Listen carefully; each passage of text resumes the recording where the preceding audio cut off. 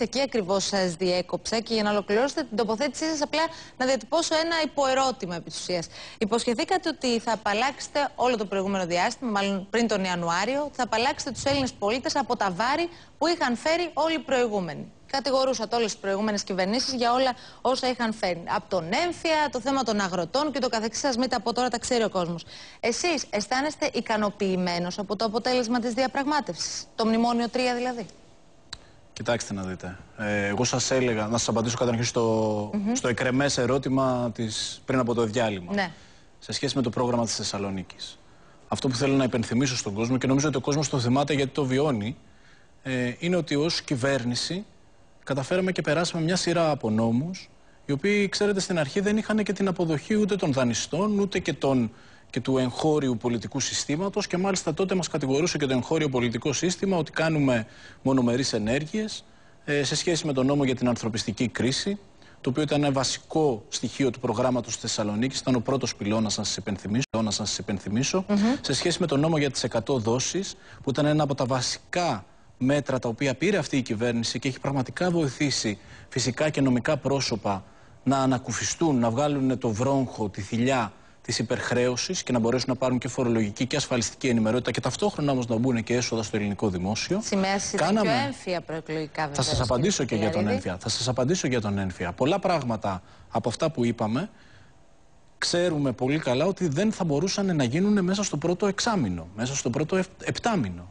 Όλα αυτά προποτίθεται ότι θα υπήρχε και ένα χρονικό διάστημα για να μπορέσουμε να προχωρήσουμε στην υλοποίησή τους. Για τον ένφια συγκεκριμένα, για τον θέλω να σας παραπέμψω. Κύριε Σακελαρίδη, για τον λέγατε ένφια, προεκλογικά ότι θα τον καταργήσετε άμεσα. Ο ελληνικός λαός δηλαδή δεν ήξερε αυτό που λέτε περί επταμήνου, εξαμήνου. Και σας απαντάω. Και σας απαντάω και σας λέω ότι και εγώ όσο ήμουν κυβερνητικός εκπρόσωπος, αυτό το οποίο, ε, στο ερώτημα αυτό όταν ε, μου ετίθετο, αυτό που απαντούσα είναι ότι στο δεύτερο εξάμεινο του 2015 η ελληνική κυβέρνηση θα παρουσιάσει το σχέδιο για την αντικατάσταση του ένφια με έναν φόρο πολύ δικαιότερο έτσι ώστε να κατανέμει τα φορολογικά βάρη περισσότερο στους έχοντες μεγαλύτερη περιουσία έτσι ώστε να μπορούν να απαλλαχθούν από τα βάρη ναι. αυτοί οι οποίοι έχουν τη μικρότερη περιουσία.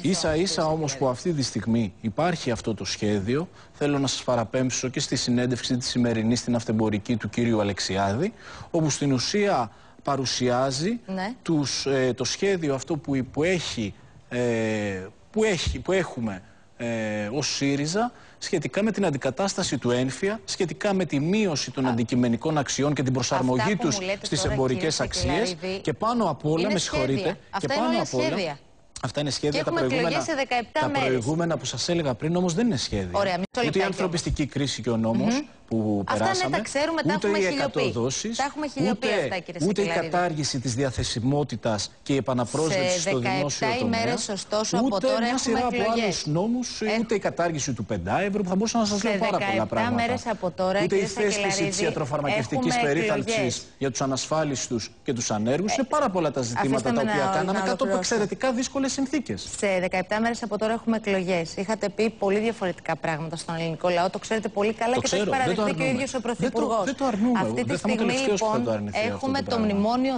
3, το οποίο έχει εξαιρετικά επώδυνα μέτρα. Θα μπορούσα όπως μου τα παραθέσατε εσείς τώρα να σας παραθέσω και όλα αυτά που συμπεριλαμβάνονται μέσα σε αυτή τη συμφωνία, μέσα σε αυτό το πρόγραμμα. Και ο ελληνικός λαός ρωτά αυτή τη στιγμή γιατί να πάω να ψηφίσω τον ΣΥΡΙΖΑ, εφόσον επί της ουσίας μου έφερε ένα ακόμη μνημόνιο, ενώ μου έλεγε ότι θα καταργήσει όλα όσα έφεραν οι προηγούμενοι. Και θα σας απαντήσω. Ποια είναι η καθαρή απάντηση σε αυτό; Θα σας απαντήσω ότι τα διακυβεύματα που έχουμε μπροστά μας είναι πάρα πολλά και έχει σημασία ποιος θα είναι στο τιμόνι της χώρας το επόμενο χρονικό διάστημα. Θα σας απαντήσω πολύ συγκεκριμένα. Όντως, το πλαίσιο το οποίο βάζει το τρίτο μνημόνιο είναι περιοριστικό. Και αν θέλετε, και επειδή με ρωτήσατε αν είμαι και ευχαριστημένος, όχι, δεν είμαι ευχαριστημένος. Δεν είμαι ευχαριστημένος γιατί όντως εμείς είχαμε υποσχεθεί ότι θα ε, τελειώσουμε με τα μνημόνια. Κάναμε πολύ μεγάλη μάχη, χρησιμοποιήσαμε όλα τα όπλα, ε, δώσαμε στον ελληνικό λαό την ευκαιρία να εκφράσει την βούλησή του και να δυναμώσει τη διαπραγματευτική δύναμη της κυβέρνησης. Όμως δυστυχώς. Δεν έχω κανένα. Επίτηδες. Επίτηδες σας τσιγκλάω γιατί ναι. θέλω να με ρωτήσετε ναι. και μετά για το mm -hmm. δημοψήφισμα. Και δυστυχώς όμως δεν αρκούσε μόνο αυτό. Οι συσχετισμοί οι διεθνείς γνωρίζετε πάρα πολύ καλά ότι ήταν εξαιρετικά δυσμενείς και, εξαιρετικά δυσμενείς και αυτό το οποίο τελικά καταφέραμε ε, να φέρουμε, παρόλο που δεν είναι κάτι το οποίο μας ικανοποιεί σε καμία περίπτωση, είναι όμως τουλάχιστον το βέλτιστο που θα μπορούσε να προκύψει μέσα από μια διαπραγμάτευση. Εάν συγκρίνουμε, εάν συγκρίνουμε, κυρία Αναστασοπούλου, τις προηγούμενα, τα προηγούμενα ε, μνημόνια τα προηγούμενα μέτρα, ε, τα κατάλοιπα, τα κατάλοιπα της πέμπτης αξιολόγησης που άφησε ανοιχτή δεν η Νέα Δημοκρατία και η κυβέρνηση του κυρίου Σαμαρά, τότε θα μπορούσε να γίνει μία σύγκριση σε σχέση με το τι έφερε ο καθένας. Εγώ και πάλι θα σας πω ανούσιο να βγάλουμε τα μνημόνια τώρα εδώ και να συγκρίνουμε ποια έχει πιο, έχει πιο επώδυνα μέτρα. Θα σας απαντήσω. Το θέμα και θα σας είναι... απαντήσω ναι. και στο, στο ερώτημα που μου κάνατε. Τι λοιπόν μπορεί να γίνει στο επόμενο χρονικό διάστημα; Εμείς αυτό που λέμε από τη δική μας την πλευρά είναι ότι υπάρχουν πολλά ζητήματα ανοιχτά. Ένα ανοιχτό ζήτημα, για παράδειγμα, μέσα στο μνημόνιο και το γεγονός ότι έχουν μείνει ανοιχτά αυτά τα ζητήματα είναι αποτέλεσμα διαπραγμάτευσης και δεν έκλεισαν με τον τρόπο που μας έλεγαν οι δανειστές και δεν έκλεισαν με τον τρόπο που μας έλεγαν τα υπόλοιπα κόμματα της αντιπολίτευσης. Κλείστε το γρήγορα και δεχτείτε ότι μας φέρνουν για να τελειώνουμε. Γιατί φτάσαμε στο παραένα ναι. της εξόδου της χώρας από το ευρώ. Και γιατί λοιπόν, και δεν έχει, τι δεν έχουν κλείσει, δεν έχει κλείσει πρώτα απ' όλα το ζήτημα των κόκκινων δανείων. Ωραία. Και αυτό είναι πολύ σημαντικό, γιατί θα μπορούσε να έχει κλείσει με τον τρόπο που προτείνουν οι δανειστές. Ποιος είναι ο τρόπος που προτείναν οι δανειστές, ακριβώς το παράδειγμα της Ισπανίας και το παράδειγμα της κυβέρνησης του κυρίου Ραχώ.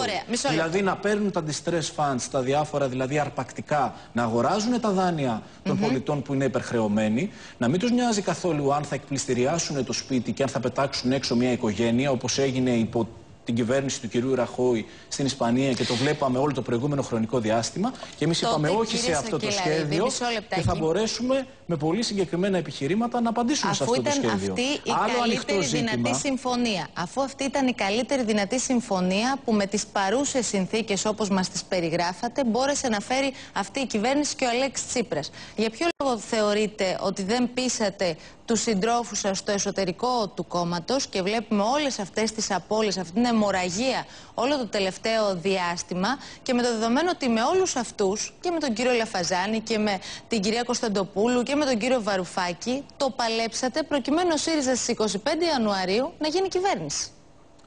Δώσαμε Είναι πρωτοκλασσά τα στελέχη, γι' αυτό αναφέρω εκεί. Δώσαμε μια πολύ σκληρή μάχη. Αυτό νομίζω καταρχήν το ερώτημα ε, θα πρέπει να το απευθύνεται και νομίζω το απευθύνεται ε, στους ιδίους. Δεν θέλω εγώ να απαντήσω ε, για, ούτε για τον κύριο Λαφαζάνη ούτε για την κυρία Κωνσταντοπούλου.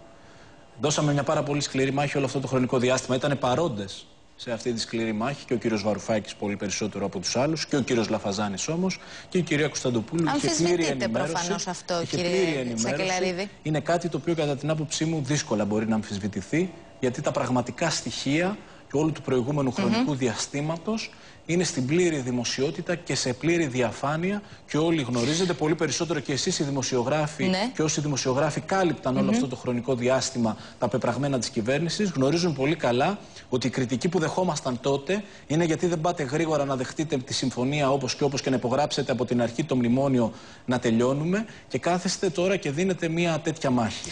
Εμείς ίσα ίσα που δώσαμε αυτή τη μάχη και αφήσαμε και παρακαταθήκη για όλη την Ευρώπη. Το ερώτημα που σας έθεσα είχε πολύ συγκεκριμένη βάση. Το ερώτημα είναι το εξής. Από τη στιγμή που δεν μπορέσατε να πείσετε τους ίδιους τους συντρόφους σας για τις προθέσεις σας, για το αποτέλεσμα αυτής της διαπραγμάτευσης, πώς περιμένετε στις 20 Σεπτεμβρίου να πείσετε τον ελληνικό λαό ώστε να σηκώσετε τη χώρα στην πλάτη σας για τα επόμενα τρία τουλάχιστον χρόνια, γιατί μιλάμε για ένα πρόγραμμα με τριετή προοπτική. Γιατί πιστεύω ειλικρινά ότι ο ελληνικός λαός έχει ε, και τη συνείδηση, έχει και την κατανόηση και μπορεί εύκολα να αναγνωρίσει